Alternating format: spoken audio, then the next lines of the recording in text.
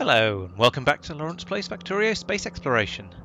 In the last episode, I was talking quite a lot about my um, outpost up here on Kothar, where I'm making the um, the Iridium, and that's been my sort of standard outpost design, where I've got a few mines scattered around with trains bringing stuff in from them to a central place, where I'm then producing whatever resource it is that comes from that planet. And as you can see, this is nicely backed up now. Um, I also talked quite a bit about setting up these um, meteorite defences here, and I've now gone round a few of the other planets as well. So if we have a look at um, this one, yep, you can see I've got exactly the same thing here. And if that looks very familiar, well, it's because I just copied and pasted it across. And I dropped in one of the umbrella defences as well, because I thought, well, why not? I might as well have that there.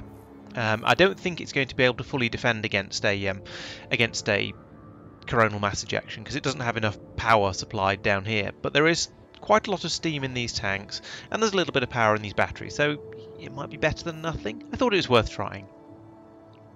While I was over here, I did a little bit of tidying up as well, because there have been a number of things. I think it was this planet where one of my trains had been hit by a meteorite and um, and had one of its uh, wagons knocked out. And there were a few other little bits of damage here and there, so I came in and tidied those up as well. I've done the same over on um, on Tulip and this one the same sort of thing. I had except here I had a train that had run out of fuel here so I've been up I've, I've I've reloaded that one with fuel and then all of these places I've put in these belts here coming up from wherever the the um, the coal drop off is up to just keep the trains loaded up with coal. It's not as it means they won't go as quickly as if I was using rocket fuel in them all but given these given the size of these bases I don't think it really matters. It's it's, it's plenty. And once again I've put in somewhere I'm sure I put in the um, defensive the meteorite defense guns as well. Where was that? Yeah, here we go. Oh, over here on the end of the bus. That makes sense. Again, dropped in exactly the same sort of system. The six guns, and and by the time um, and by this amount of time has passed, you can see the uh, the guns are fully loaded now, and this one's killed, got two kills. So and that one, these have got 11. So we've had a few um, a few meteorites we've defended against, and I don't know whether those meteorites would have gone anywhere important or not. You can't really tell, but it's good to have the defences in there anyway. I think. I also started putting together another system here that was going to be um, putting, uh, delivering the Vegemite. No, not what's it? What's this stuff called? The um, Vitamelange, that's the one, by, by rocket instead. And that is because um, I did a bit of extra uh, rocket maths, uh, as you can see here, uh, because I've done some more research now. So I've got my, I've done a few more of these ones. That's the rocket reusability, um, and they're getting rather expensive now, which is why I stopped at this point. But that does mean that I've now got up to the point where if I have a look in here, I've got up to um, reusability of 64%. So every time a rocket goes up, I'll get between 54 and 74 part, uh, rocket parts back.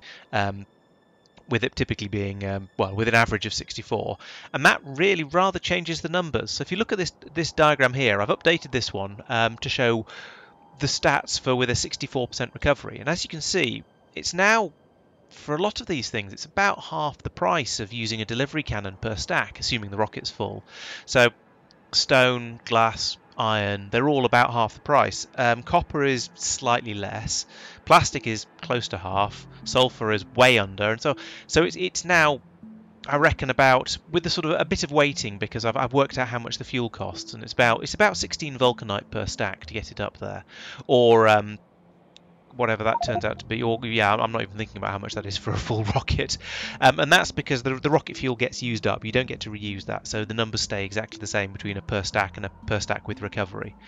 But that means it's now less than half the price in sort of in resources. Uh, it's taken it down from about 160 resources to about 74 resources to make it, um, and a whereas a delivery cannon capsule is about 93.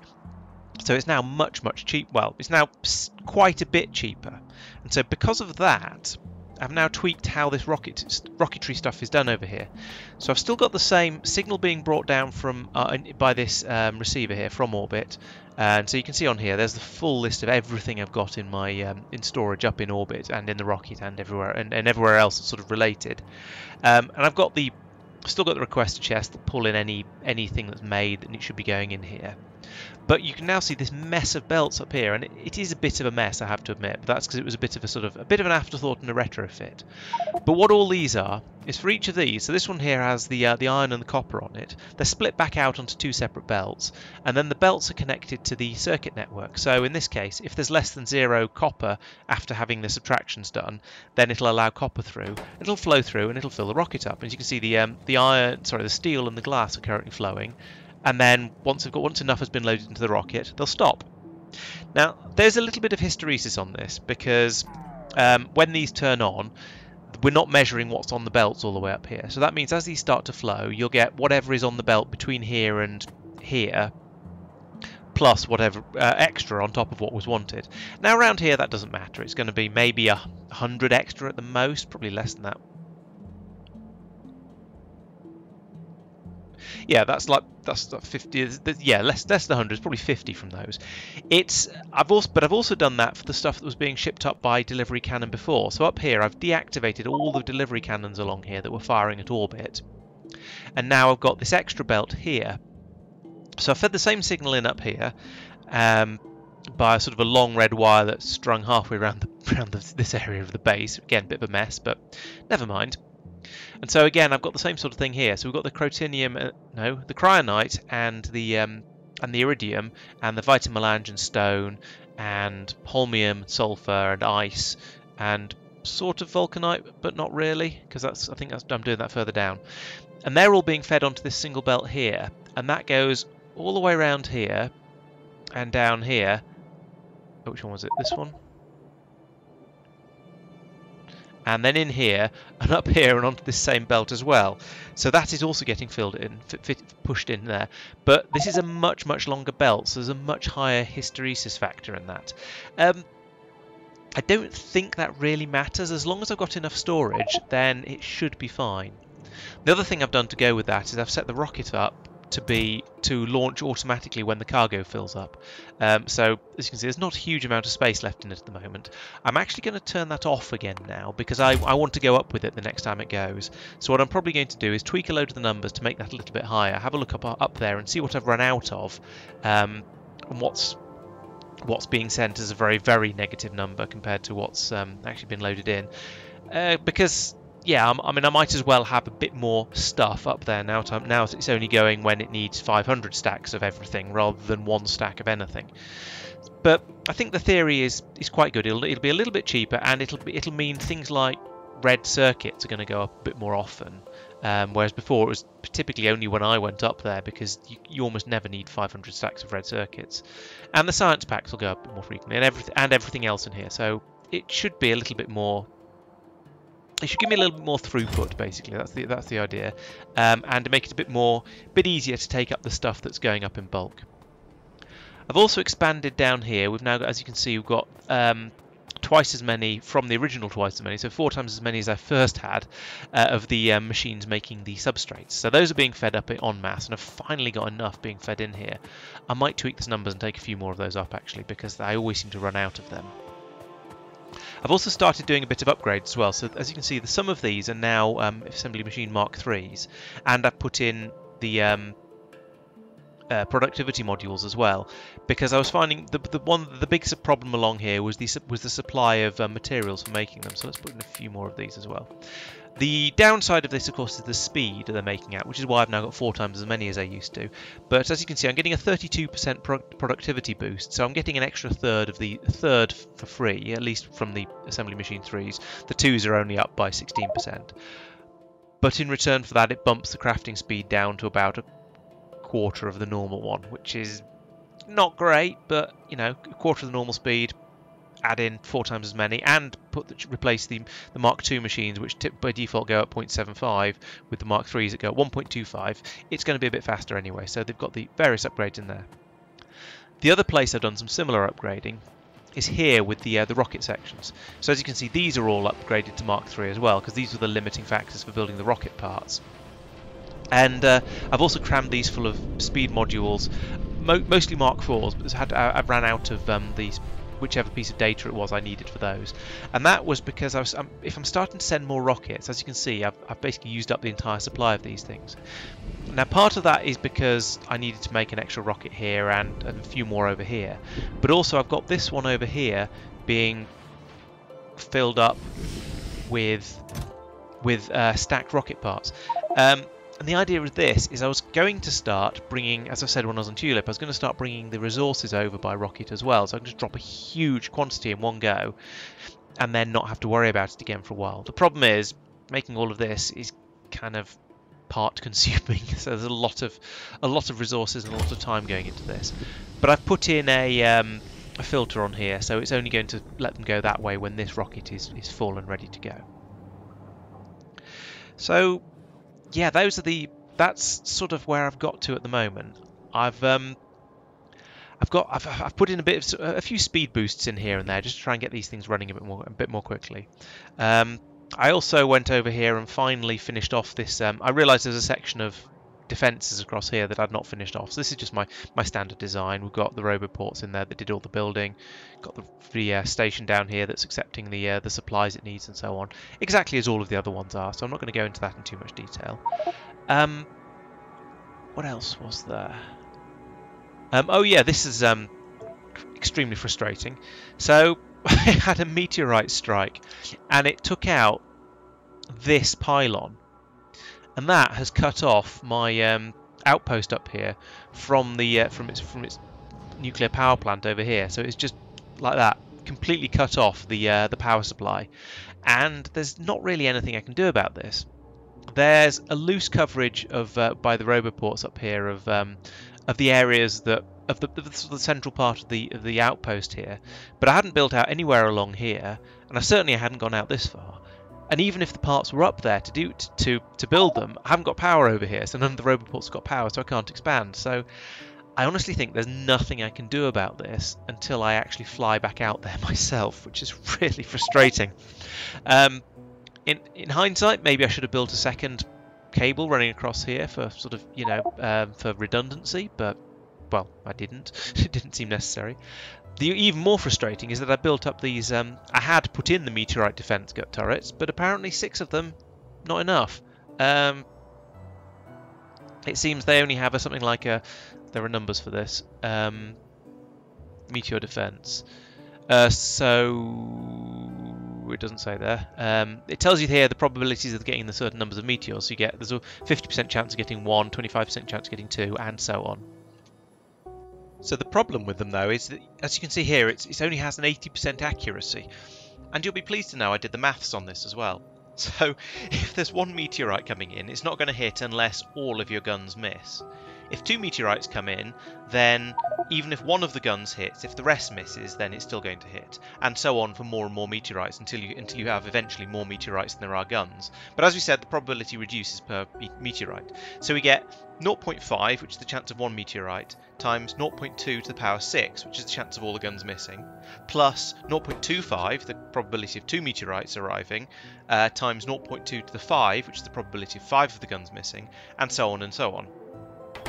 Uh, that you can then sum together as um, 0.5 to the n times 0.2 to the 6 minus n, um, and then uh, 0.5 to the n for n greater than 6. And that gives you all of these numbers. So we've got the probabilities and then summing them all together. And if you just keep going with that for a little while, then eventually it comes out the probability for any individual meteorite attack of something hitting your um, planet is about 4%. And then beyond that, there's then the chance of whether it actually hits something you care about and whether that thing is destroyed immediately or whether it then gets repaired by the robots. So it's not a sort of a 4% chance per meteorite strike of your base being crippled, but there is a 4% chance of something on the planet getting hit. Because each one of these has a 1 in 5 chance of, of missing, and if you if you roll the dice unluckily, then apparently it turns out you can miss all of them. Um, so yeah, that's presumably what happened over here and how I managed to lose that power, that single your singular power pole that's linking everything together. So I guess yes, I'm going to have to go out and fix that at some point. We do have solar over here still, so that's a little bit of a backup. Um, but it appears to all be being eaten by the umbrella defense, which kind of sucks. um, I wonder if I can just if I take that. Hmm, No, I can't. I presumably can't just take that. Well, maybe I can. Are there any bots that will work still? No. So because there aren't, because there's no power, I can't do anything about it. It's all just, it's all just broken. That's it. So yeah, I'll have to try not to worry about that. So back down on Nauvis. As I was saying, I've got the um, construction of the uh, um, rocket parts going on here. Now, one thing that has occurred to me a bit is that I've run up quite a lot of let's call it technical debt to use a sort of a, a, a, software development term. So over the over the time I've been developing my base up here, it's got more more and more stuff has got crammed into this area and it's got more and more spaghetti and just generally a bit a bit horrible. So I sort of part of me wants to rip it all out and start again, um, but that's going to be a bit of a challenge. The alternative is to just build it all again somewhere else a bit neater and abandon this area. That's that's possible too. I could do it if I did it up here, then it, it would be nearer all of this stuff, and I'd have a lot less um, resource hysteresis whenever one of these kicks in. The similar similarly, I've got the same sort of problem up in um, Nauvis orbit with my uh, with my production of science up here. Now, from about probably about here onwards, I guess, most of this is reasonably well organised. Um, want to get down here. I'm, I'm happy with all of this. This is this is fine, making the green science. Um, the purple science again, yeah, pretty happy. That that's that's gone together quite nicely. Um, this bit up here, generally, yeah, very pleased with that. I think that's I think that's a pretty good design for what I was what I was doing at the time. Um, along here, yeah, this is kind of okay. This this this bit's slightly crammed in because it was an afterthought because I then discovered I was going to need another temperature of thermofluid. Um, and then this bit, not not so bad. Uh, oh dear, this is all horrible. so I should probably, I don't know. This should this should this should all be different. I should have a separate area off. I mean, the, actually, the, the solar going off up here, that's not too bad. Having that going up this way, I can cope with that. Um, the science should probably be, I don't know, maybe it should be down here. Maybe, maybe actually, here's better. Here's another thought. Maybe it should be up here, off the top of all of this. But then that's all designing with hindsight in mind. Um, then down here we've got this thing built that's dealing with all the scrap. Um, oh dear, that's gone horribly wrong. What? Oh no, no. Why is this gummed up? Have we? Oh, we've run out of vulcanite. That's why this is gummed up. Okay, so what I was going to say is down here I've been discovering that these recycling machines aren't actually running fast enough. I need more of them. Um, putting in more of the ones dealing with cards wouldn't be too difficult. They could go off over here. But putting in more of the ones dealing with the scrap, there isn't room for them. this, this area is just full, so I'm, I'm stuck, uh, which is a bit of a bit of a pain. Um, so, so yeah, there's a lot of things up here where, with with the benefit of hindsight, I could have done them much much better, much much much differently. Yes, uh, very very differently, and, and, and done them in, in a much much better way, and with more of the scaffolding available as well. Perhaps I could have spread things out a bit more. So one of the things I'm considering, and I haven't really decided whether I want to do this yet, um, is I'll, I'll finish off I'll finish off the, the tier one space science up here. So I'll come up and I'll get the orange one done as well and get that piped in because I've got I've done most of the work for for that up here. I just need to finagle it onto this belt somehow and by running it right don't know down here somehow. Well, I'll work it out when I get closer to it, and I'll probably put that way off down here. I guess that's going to require quite a lot of throughput, uh, quite a lot of stuff to get get all the bits I need all the way down here rather, but that that's manageable. But after that, there comes several more tiers of science. So if we have a look at one of these machines, you can see on this that we've got, yeah, we've got the tier 1 space science, but then we've got the tier 2 and the tier 3 and the tier 4, and then we've got the black science at the very end. So I think I need to come up with something something different, a better way of doing this for up there. So that's going to be a, um, a project for, for quite a lot later on, good a good few episodes down the line, I think. but it is something I, I'm I'm thinking about a bit. But I think that comes to pretty much the end of what I've done at the moment. It's been there's been a lot of sort of tidying up. So I've been out to all of the planet, most some of the planets. I haven't been to um, I haven't been to Myokin yet because Myokin's sort of a bit of a weird one. It's not got. I put I've sketched out I sketched out where I wanted to put things, um, and then I went, oh, hang on a minute. there's no resources on this. There's no resources being harvested on this planet. I've got. I'm just pulling this straight in, and then I've got a big a big box full of um, uh, delivery cannon capsules over here. So this has just been shoved shoved in and sort of. This was this was the first one I built, so I hadn't hasn't been thought through quite so well. So I don't have it. I, I don't have mines pulling up copper and stone and iron and so on for everything I'm going to need. So it's it's it's a little bit afterthoughty. So I'm going to maybe come out here and do something a bit more drastic to get this up and running. We'll we'll see, but at the moment that's fairly low on my priority list. The next thing I want to do is get the material science up and running. One of the things I have looked into is that all of the material sciences require these um, what's it called them uh, material testing packs so I was having a bit of a look into these and it turns out that you can actually build those basically anywhere by hand in in machines down on on the planet or up in space um, so I thought okay great that's and it turns four pieces four pieces of resource into one thing that you can then take up with you. So I thought, great, that's going to be another candidate for um, for building down here on Nauvis and then shipping up on mass, like I'm doing with the with the substrates here for the memory cards. Um, I then did a little bit more investigation into it, and that's not such a good idea because, as you can see here, they only stack up to 10. Um, I made 11 of them just to make sure because I suspected. Uh, so they only stack up to 10, so it's actually not worth taking them up because that's only taking up 40 resources worth in one stack is significantly worse than if you take up the the iron and the copper and the plastic and I think steel all separately and then build them up there because you can fit like literally twice as many, more two and a half times as many of each one into a stack as you can. Um, you can in, if they're um, if they've been been assembled. So yeah, I won't be doing that, but I will be sh shipping up lots and lots of the, uh, the required, required resources to build them up there. Uh, but once I've done that, it's actually fairly straightforward to make the uh, those particular that particular science pack. I think. I mean, it, I'll probably find out that it's it's not as easy as I expect, but it looks reasonably straightforward. It's just a case of making the um, material packs and then feeding in something, whether it's cold, hot, steel, concrete, uh, and then you just make, you can make the packs out of those. So I think this shouldn't be too hard. To make them does require um, slightly exotic machines. Uh, th these ones require the thermodynamics facilities, which take electric furnaces, chemical plants, and other miscellaneous stuff. So I need to make sure I've got enough heat shielding up there.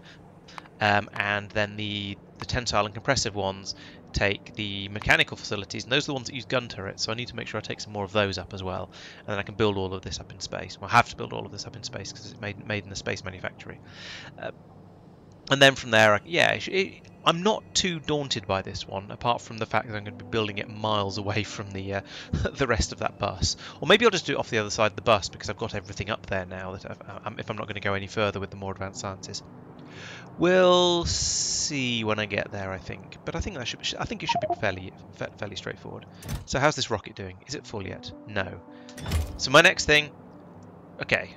So next things, look into um, bringing some more supplies up with me, making sure I've got everything I could possibly want, and boosting a lot, a bit of the roaring, raw materials like iron and copper. I think want to be boosted quite a bit, and probably steel and plastic, and all of the things that are going to go into these material science packs because I'm going to get through quite a lot of that. I might take up even more red circuits. Let's have a uh, maybe more of these substrate things actually, because those are things that, that get used in, in, in large quantities. Let's have a look. Is there anything I've run out of? Copper.